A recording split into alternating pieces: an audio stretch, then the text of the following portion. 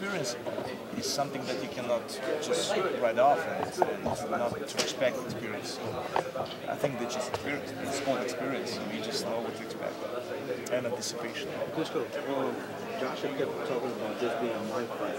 What's really going to be doing the talking that day? Well, it's, it's not much of a uh, talk here. Um, I, I'll be honest, I don't know why, but always there was said like I got under his skin because of the mind game, and, and I heard it from my opposition pretty often. And um, in this case, I just eat you alive in my mind.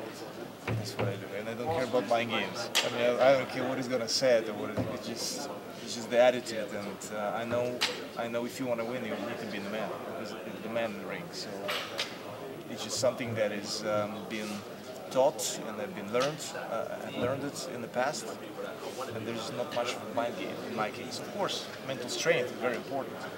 If you if you're going to be deployed and you're not okay with some issues in the family or you can't focus on your job, so you, you just deployment for me it's, it's my camp. So I'm shutting off my business, my any other issues, and just there's only one goal that you're working up to. Does it bother you at all that you never got a chance to get revenge on Fury? Um, it stopped bothering me because I cannot change it. So what I can't change, why should it bother me? It's just, it's just, just Right off the shelf. exactly. Vladimir, where are you training? um, I will train in Ukraine and in Austria. So I have two camps. Vladimir, so your fight is April. Deontay Wilder is fighting in, in February, I believe. Will you be watching that? Will you be having any interest in uh, the outcome of that fight, or are you focused on It yours? is interesting. I would love to watch it. Who is he fighting? Uh, he's fighting Gerald Washington. He's the last opponent, pretty much got canceled So, out because so if, if I can see it, um, uh, it's in March, you said? I think uh, February. Feb- February. Well, I'm, I'm at, I'm at watch. If not, then we'll do it again. The American heavyweight has always been a part of the history of boxing.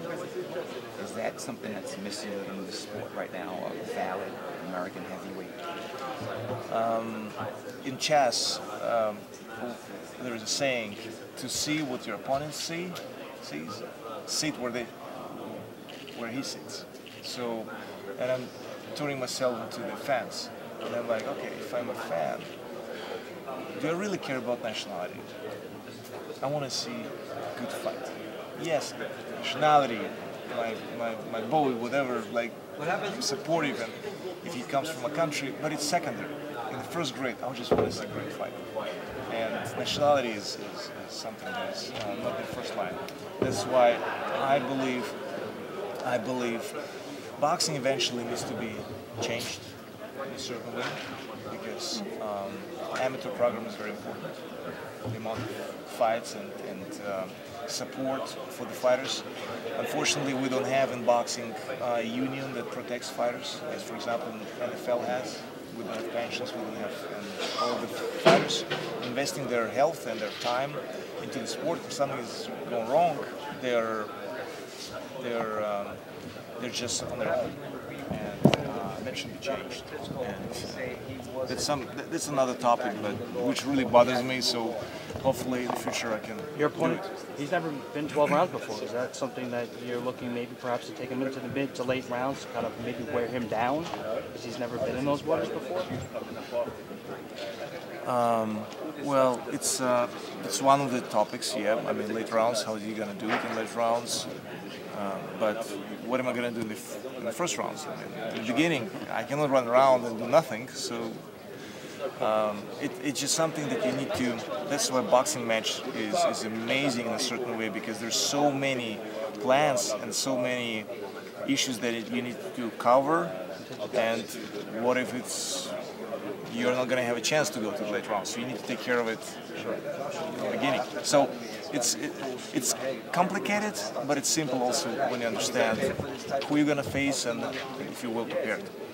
What do you see in his style that might give you some problems? I think he's an extremely talented guy, and uh, as I just mentioned in the press conference, I was, I still I am going to be his fan. Uh, I uh, even this sounds weird probably.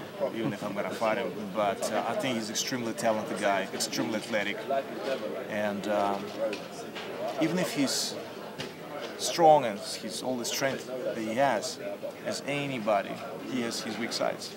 My goal and my task to discover it, to see it, and use it. Did you spar him before? I'm sorry. Did you spar AJ before? Yeah, yeah, he was my sparring partner, uh, 2014. I mean, what, well, what do you think about these days the heavyweight trying to find guys as long, tall, fast to match the bar that you set up in the heavyweight division, like your size and your speed. Nowadays, heavyweights are now big and long. Can you comment on the type, the, the type of breed almost that they that they're, they're creating? To, to, to Size doesn't matter. Size doesn't matter in boxing as well as in soccer. We have Ibrahimovic and we have Messi. I mean, like right, totally right, different right. sizes, and each of them has their own advantage for speed and, and uh, how quick they can play.